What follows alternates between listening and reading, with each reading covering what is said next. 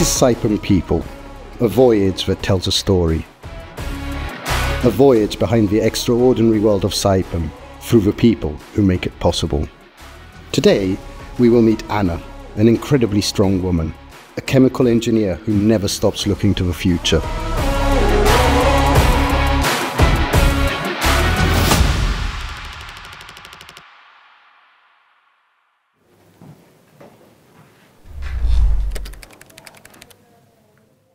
My name is Ana Ruiz, and I am part of the management team in Saipem Abu Dhabi.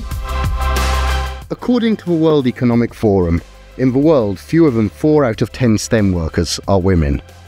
Saipem is constantly committed to changing this culture for more gender equality by increasing year after year the presence of STEM women in its workforce. I graduated in uh, chemistry in Spain, where I was born. After I got my degree, I wanted to explore further, get into the chemical engineering and plant design. I joined family business. I was uh, the only girl in the chemical uh, facility, and eventually took me to get into Saipem Group. At that time, I felt I had reached uh, NASA. Really, it was uh, that was the dream of any chemical engineer at the time. That was the start of my love uh, love story with this company. Saipem has been present in the United Arab Emirates since the early 70s and employs more than 1,500 people there, with a proven track record in onshore, offshore, floaters and infrastructure projects.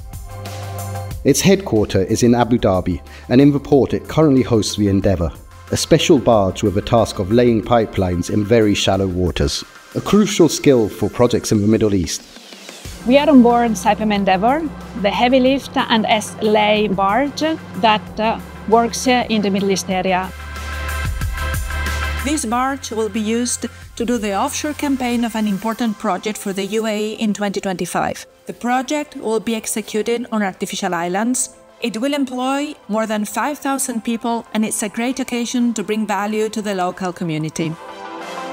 Ana has a long history as a STEM woman in Saipem, where she experienced the variety of its working contests around the world. Today, the gender gap is giving strong signals of change.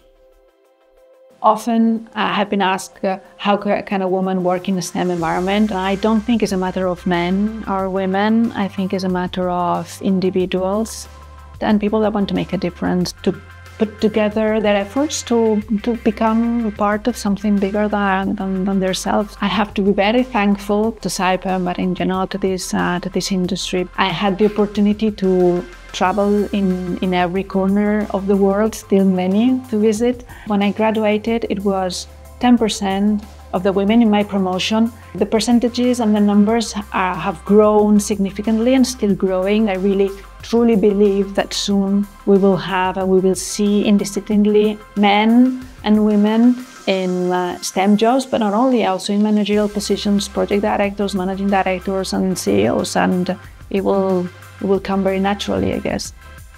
Saipem has a deep rooted presence in Abu Dhabi, fully integrated within the region an extraordinary multicultural working context of strategic significance, where Ana and the men and women of the team and local partners are committed to realizing engineering works that will last over time, a desire to create the extraordinary.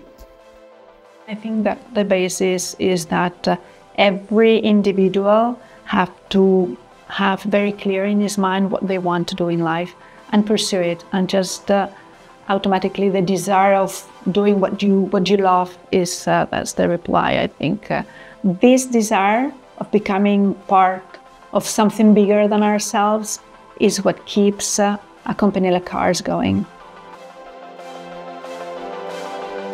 My name is ana ruiz and this is saipem people